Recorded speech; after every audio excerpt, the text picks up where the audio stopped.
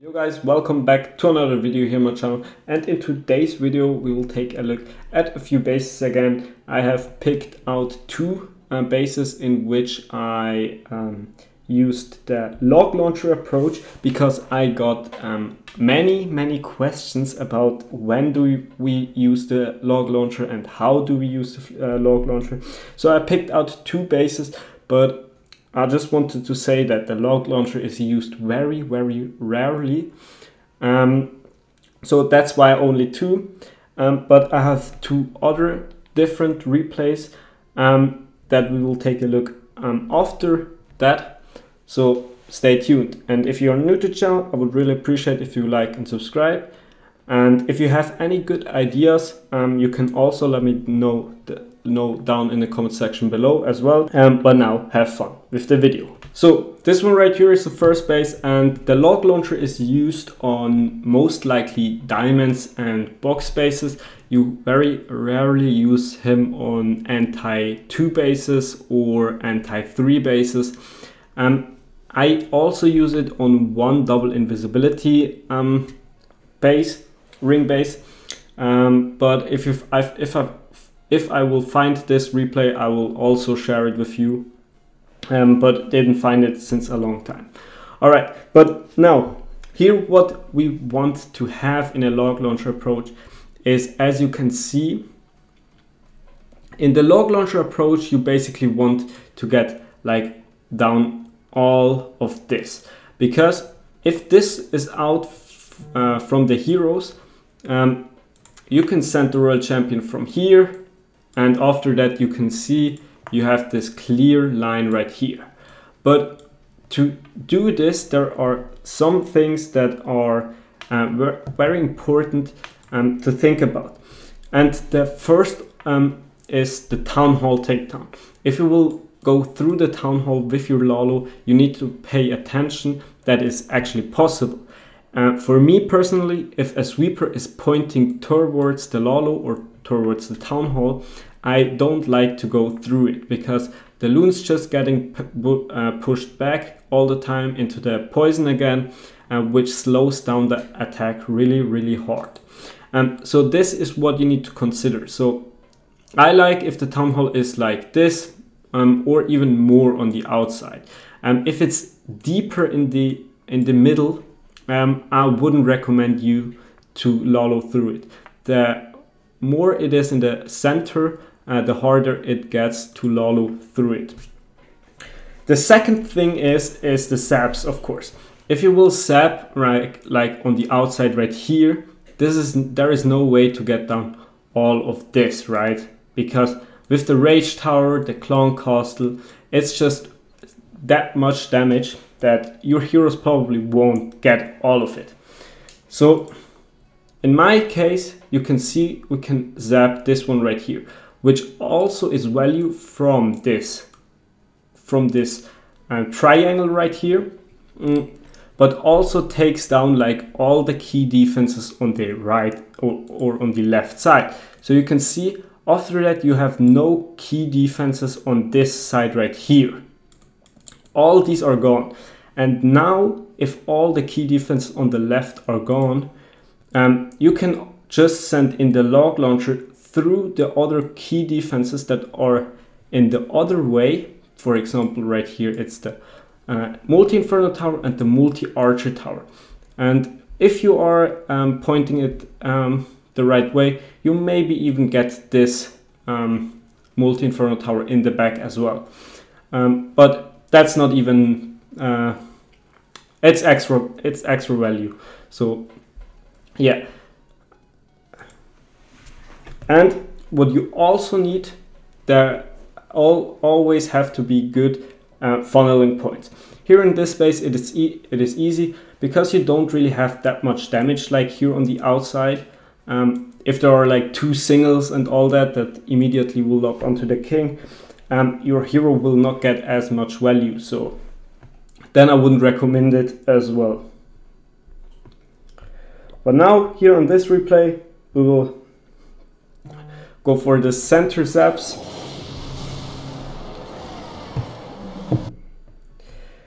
And now with uh, uh, easy funneling, uh, we funnel the king towards the top side.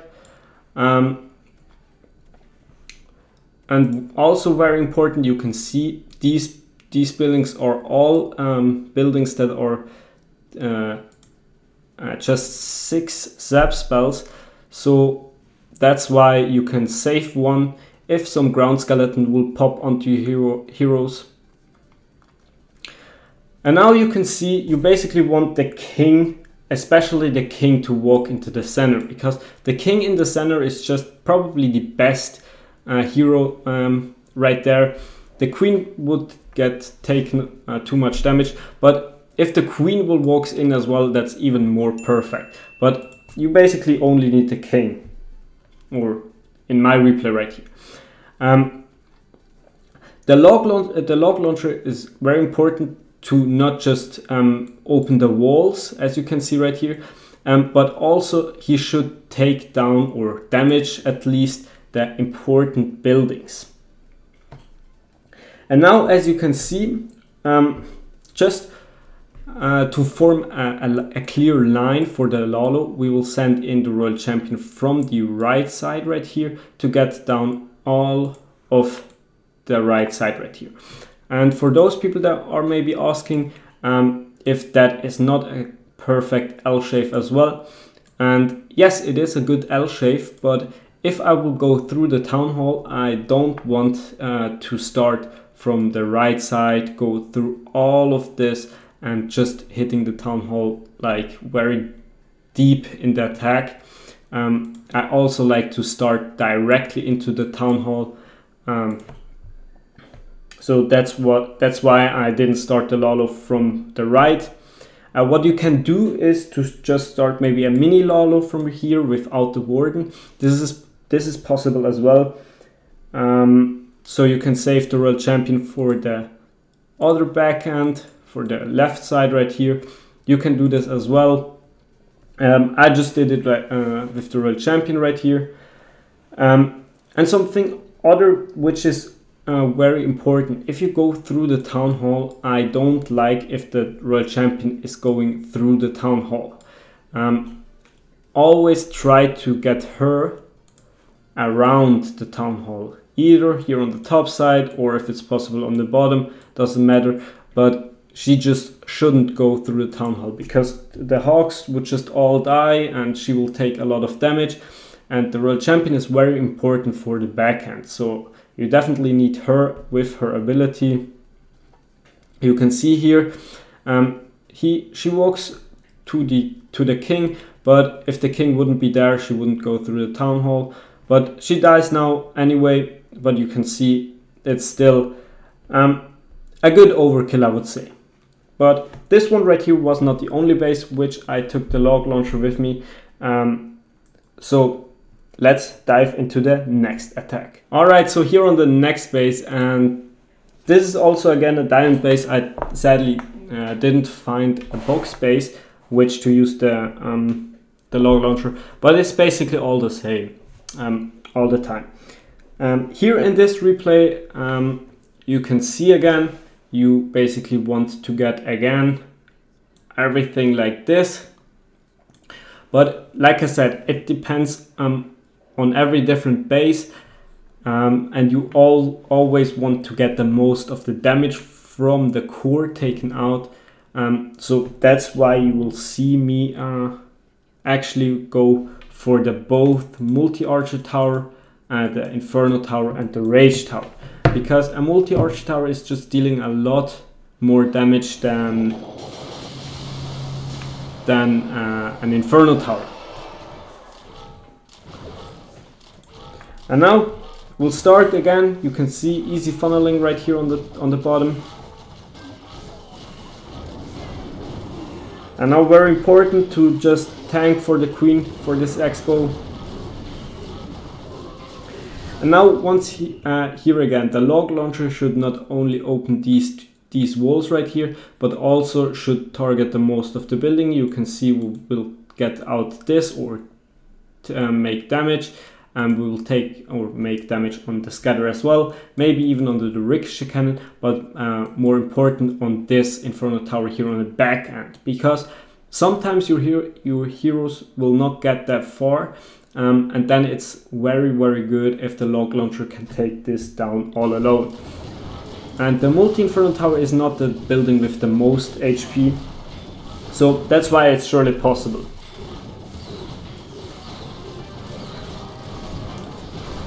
And something which is also very good is um, if the log launcher hits the CC troops, because you can see he's dealing a lot of damage. Sadly caught in the torna tornado trap, um, but we got the walls open, which is probably the most important thing. And by the way, I don't know how you feel, but in my on my headset, like the game sound is really really loud. Um, so if you keep want the, the gameplay, the sound of the gameplay, please let me know down in comments um, because for me it's just very loud. But if you want it, I can surely um, put it on again. And now here once again, very important. Um, I, I said that I wanted all of this out. The queen will get some value here on the bottom side, the scatter and the both uh, or the X-Bow right here. Um, but you can see like the multi-inferno tower the other multi-inferno tower is still standing. Um, the good thing is that, or no, not anymore, the, the builder repaired it. Um, that's why once again we will send in the Royal Champion. We will not send her in for the Town Hall, um, just for the same reason as I mentioned before. Um, she should go all the way here on the on the middle side, get down every every single key buildings that the heroes didn't got. Um, and you can see in the backhand there is nothing left. Um, maybe this air defense with the queen, but nothing too serious. Um, that's just uh, my thinking step. And now maybe something very important. You can see the warden is kind of going the wrong direction to the right side and leaves the most of the loons alone.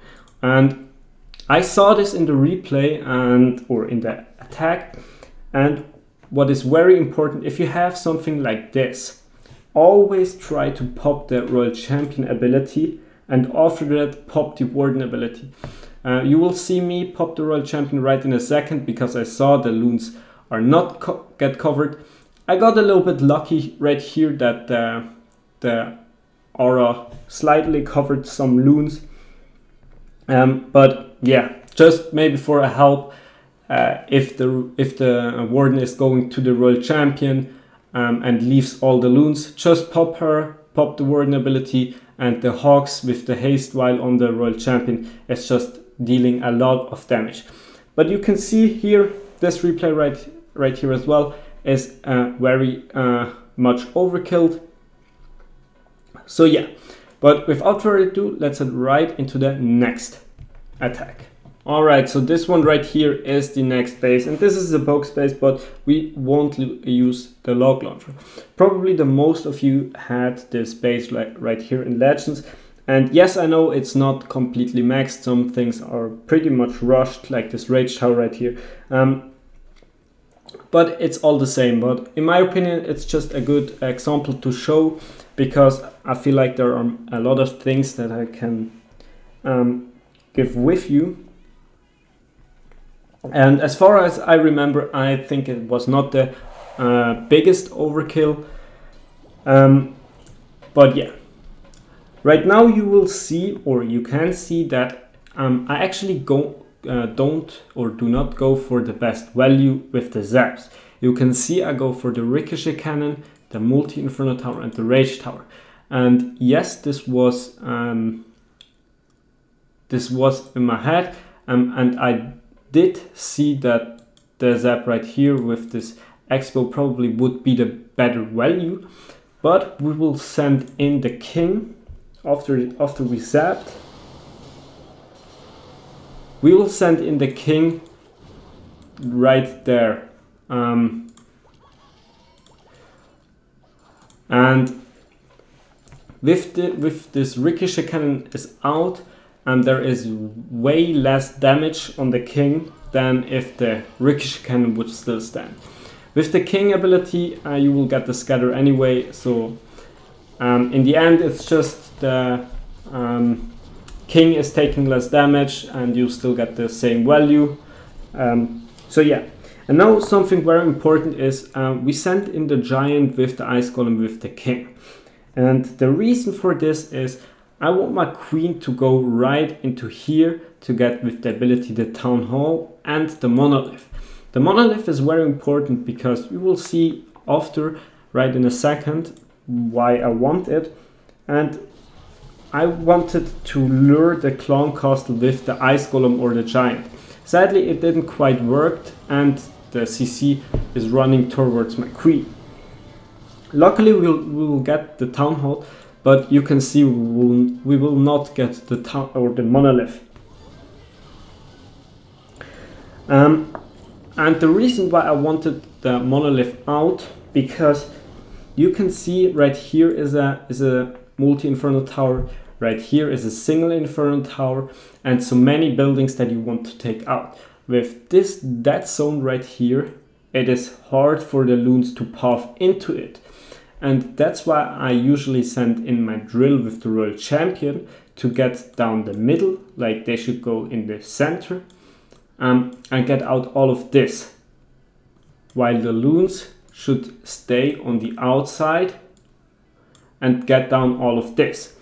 Um, and the reason why the monolith now should be out is if I send my drill and my royal champion into like here the monolith would deal a lot of damage to the drill or to the to the royal champion, to the fox or whatever.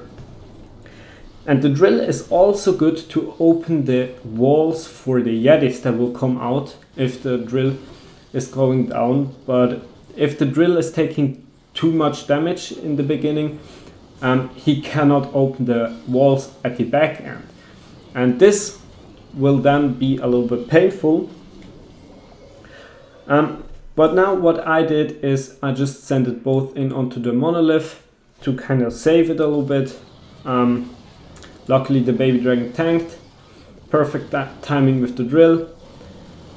And I also get asked a lot what do you should use the rage or the haste while or the haste I'm sorry um, if you have something like this where you have the multi inferno tower there raged up scatter. You have a lot of buildings right here. In this case, I would also rage just directly above the rage tower.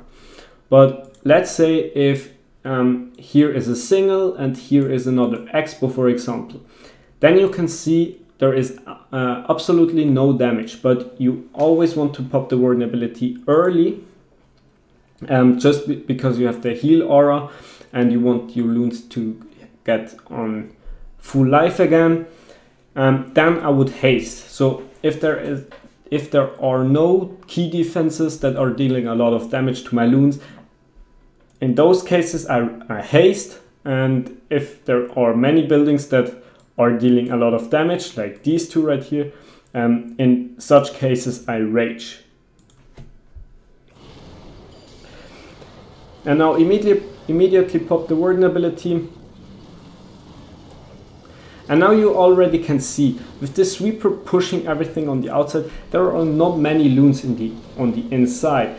And this is why you want the drill with the uh, Royal Champion on the inside. And you can see now closing everything, coming in from the backhand, from the right side. Um, so that basically um, it is tanked for the Royal Champion, so she can clear the rest. Um, but yeah, you can see this one is not that much overkill like the like the last twos, but still three or three. Um, and I felt like that this base is just a good base to show you some things. Um, but yeah, with that being said, let's dive right into the next base. Alright, so this one right here is the last base here on only Kazuma. Um, and I feel like this base is probably a tougher one because you have three mulched up, multi, uh, raged up multi uh, Inferno towers, two raged up um, multi archer towers. So a lot of damage, a lot of multi uh, multi um, uh, splash damage uh, defenses and very important against your Lalo. So this core is dealing a lot of damage. And of course you can zap the Rage Tower, uh, one Multi-Arch Tower and one Inferno Tower. But still, two Inferno Towers left and one Multi-Arch Tower. This is still a lot of damage. And what I like to do on this basis is um, I will send the king, or of course we will first zap out these uh, three buildings. Um, after that, I would like to send the king into this into this eagle compartment right here to get out this cleared. And I want to send in my queen for this section right here. We'll funnel a little bit here on the outside so that my queen will beat through um, this wall right here. And if she is in this compartment right here, she can reach the other multi um, multi archer tower. And if you're lucky, you will get, even get this uh, multi inferno tower right there. So all of very good value. And with the royal champion, you will send send her for from a little bit more to the right side. Um, she should get this last Inferno Tower. And after that you can start with the Lalo from the bottom right here. Or if the Royal Champion would walk um, on the top right here, you can also start from here. So you maybe need to check a little bit um, how the attack is going. So let's speed, up, speed us up a little bit. Very important here once again, just use 6 zap spells if you can take everything down with 6. There is no point in sending in 7. And what probably was a little bit bad in this attack was this wall break right here. If I will wall break right here, you can see um, after the king destroys this eagle, this elixir storage is actually actually closer than this X-Bow right here. So the king unfortunately walks on the outside I tried to hold on to the king ability for as long as possible so the queen can take down the storage. Um, but the king was a little bit faster. And now you can see this X-Bow is still standing and it's dealing a lot of damage to my queen. Luckily she could save her a little bit. Um, but yeah. And I waited with this wall break um, for that long. Because I wanted to use the king for the funnel. The king should get out these buildings, so the queen will, after she destroyed the X-Bow and the bomb tower, that she will go onto this wall. And now with the king clearing out these buildings on the on the top right here, um, there is no point um, in sending the Lalo from the top because the pathing would just not be the best. Um, so that's why I started uh, I decided to start from the bottom. Um, to be honest, I wanted my royal champion to go like this right here. Um, or if if it's possible, maybe like this and she, she should come back. But if she will go onto the top, she will go right here. Um, but maybe the queen is quicker. Um, that's why I sent her in like this. But with the Lalo destroying the buildings on the bottom, um, she will go onto the top side, even with the CC coming out. And now basically um, clean the uh, send the blimp in for the town hall. And now here, very important, you can see there is there there popped a tornado somewhere. I can see her now, but I dropped the blimp right as it was onto the other side of the wall. Because if the Yetis are on the inside, um, means between the wall or the, the wall and the town hall, um, you will get the town hall. And now coming in with a mini Lalo from here because I want to send in these loons to the uh, middle again to get the scatter, to get the monolith and so on. The Royal Champion dealt with the with the uh, CC and now even taking down the other multi-inferno tower which is uh, very good. And now freezing for the queen and you can see um, this wasn't actually quite as I planned it would go through but it still is going through. And with that being said I hope you enjoyed this video. If you did I would really appreciate if you like and subscribe. And now peace out